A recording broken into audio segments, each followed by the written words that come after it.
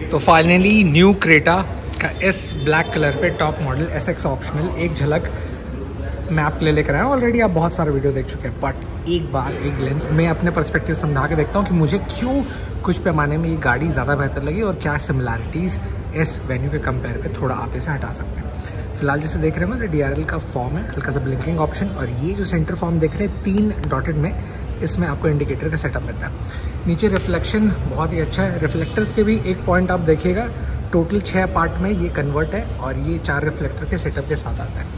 वहीं पर सामने के डिफरेंस पे एक ये टच है कि वाला जितना भी पियानो ब्लैक फिनिश मिलता है, इसके कारण ब्लैक थोड़ा सा ये टचअप लग रहा है। वहीं पर सामने वाले डिज़ाइन पे बेस मॉडल जैसा आप लेते हैं तो साइड के डीआरएल ही प्रोवाइड कराए गए हैं। सेंटर का इसमें नहीं दिया है because of course of the cost cutting वहीं पर अगर आप ऊपर के वेरिएंट्स लेते हैं तो ये आपको ज्वाइनिंग डी के फॉर्म मिल जाते हैं।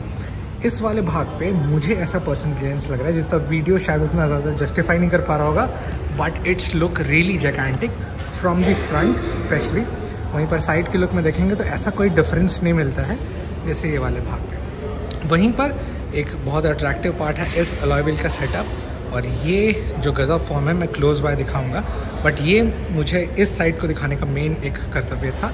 कि जैसे ये से ये भाग देख रहे होंगे तो उतना ज़्यादा ये सिमिलर फॉर्म आपको लगेगा, सिर्फ़ अलॉयविल को छोड़ के। मेन जो ब्रॉडनेस का खेल है, वो शुरू होता है ये वाले पैमाने पे, क्योंकि जो फ्रंट का पार्ट है, उस ग्रिल के सेटअप के साथ इस जो बॉक्सी डिज़ाइन है, उस पर थोड़ा सा ये ज़ोर ज़्यादा देता है।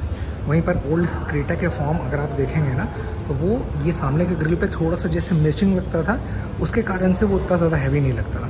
हैवीपन आते थे, फिर अलकाजार जैसे गाड़ियों में जैसे यहाँ आप देख रहे होंगे तो अलकाजार का ये जो बीच का भाग है थोड़ा सा काफ़ी ज़्यादा भरा भरा लगने के कारण ये थोड़ा सा बल्कियर लगता था। वहीं पर जैसे न्यू वेन्यू आया है तो इसमें सामने का ग्रिल ऐसा फॉर्म रखा गया है, जिसके कारण ये वाले भाग पूरी तरीके से फुलफिल थे। और ये फॉर्म जो दिखता था थोड़ा सा स्लिक डिज़ाइन इसी के कंपेरेबल टर्म पे ये जो भाग ऑलरेडी जो सामने का क्रेटा था, वो थोड़ा सा बड़ा लगता था। और अब क्या है कि इस ग्रिल के कारण थोड़ा सा बल्किनेस बढ़ गया यहाँ पर फिर अलाइविल का सेटअप दिखाता हूँ जैसे साइड में ज़्यादा डिफरेंस ना लगने के कारण इस जो अलाइविल के सेटअप है, जिसमें आपको 215 बाय 60 आर 17 इंच के जो ये सेक्शन मिल रहे हैं it's looking good and decent enough जिसमें कुछ इस प्रकार की टायर ग्रिपिंग मिलती है, जो कि कुछ पैमाने में बेहतर है। और आपको कौन से टायर्स मिलते हैं? तो ऑफकोर्स जे के टायर्स इसके बाद दूसरा चीज़ जैसे आए तो क्रोम टच में ये हुई एंट्री और अंदर का लुक कुछ ऐसे है।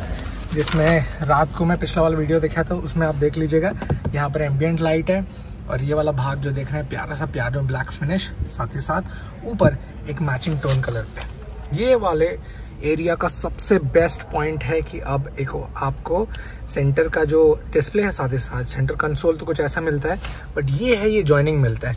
इसमें ये बीच वाला भाग जलता हुआ नहीं रहेगा।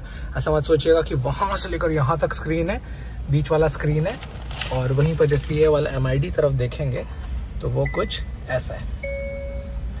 और चालू होने के बाद कुछ ऐसा प्यारा डिस्प्ले फॉर्म दिखाता है। बीच वाला भाग जो मैं बोल रहा था जैसे सिंपल है, और वहीं पर जैसे यहाँ जाते हैं तो कुछ इस प्रकार के सेटअप मिलते हैं स्क्रीन पे। इसके अलावा ये वाला चीज़ मैं दिखा दिया। साइड में आपको बोस के स्पीकर्स हैं टॉप मॉडल है ऑफकोर्स इसमें आपको मैचिंग कलर्स मिलते हैं। ऐसा नहीं बोल सकता है कि proper dual tone tri colour या फोर का सेटअप है, मैं वो भी समझाता हूँ। सबसे ऊपर ये जो है ग्रे ये डिफरेंट कलर है। वहीं पर देख रहे होंगे, ये थोड़ा सा एक अलग टेक्सचर डिज़ाइन ये हो गया टोटल ब्लैक ये थोड़ा सिल्वरिश फॉर्म में आप नोटिस करिएगा तीनों कलर मिलता नहीं है, अलग है। और वहीं पर, जैसे ये वाला भाग देख रहे होंगे प्लास्टिक है ना, वहीं पर ये थोड़ा सा एक सॉफ्ट टच दिया है, जो कि स्टिचिंग कुछ इस प्रकार से। वहीं पर नीचे वाले डिज़ाइन पे ऊपर जो फॉर्म है, ये वाला सेम एज इट इज़ नीचे मिलता है। So multi two three tone पे इसे उतना ज़्यादा क्लासीफाइड नहीं कर सकते। फिर जैसे इस तरह मैं आऊँ तो यहाँ पर कप होल्डर्स के लिए जगह एसी के वेंट्स दो इनपुट चार्जिंग के लिए कुछ ऐसा मिल जाता है। और सीट कैसा है, अगर आप पूछेंगे तो कुछ इस प्रकार के कोर के साथ मिलता है विच इज़ क्वाइट डिसेंट ना पीछे से बैठेंगे तो सामने का एम्बियंट कुछ ऐसा दिखेगा। और वहीं पर अगर मैं सनरूफ ओपन करता हूँ तो कुछ इस प्रकार का जैगेंटिक पैनारोमिक सनरूफ है which is playing absolutely great touch up for this vehicle इसके अलावा बैठने के बाद एक सुकून है, वो अलग बात है। हैंड ग्रिपिंग के लिए लाइटिंग कुछ इस प्रकार से वाइट दी हुई है येलो नहीं दिया हुआ है। और ये वाला जो भाग है सेम एज इट इज़ जैसे सामने देखे थे वैसे ही है।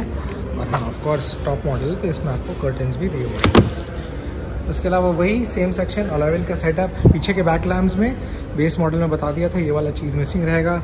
वहीं पर ये वाली चीज़ आपको पीछे के बैकलाइट में मिल जाती है। क्रेटा कुछ ऐसे उभरों में है।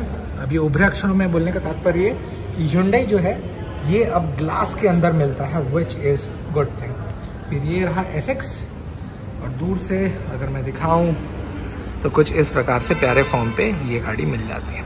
तो ओवरऑल मेरे पर्सपेक्टिव से देखने में ये गाड़ी कैसी लगी? ऑलरेडी आप रिव्यू देख चुके थे, पर मैंने सोचा कि एक क्विक ऑन पैमाने पे ये चीज़ें बता दूँ। बेस मॉडल लगभग मेरे सिटी में जा रहा है twelve lakh seventy eight thousand वहीं पर अगर आप टॉप मॉडल लेते हैं तो मेरे सिटी में इसकी कीमत लगभग पहुँचेगी ट्वेंटी लाख फिफ्टी थाउज़ेंड आपके सिटी में कितना जा रहा है? Please let me know in the comment section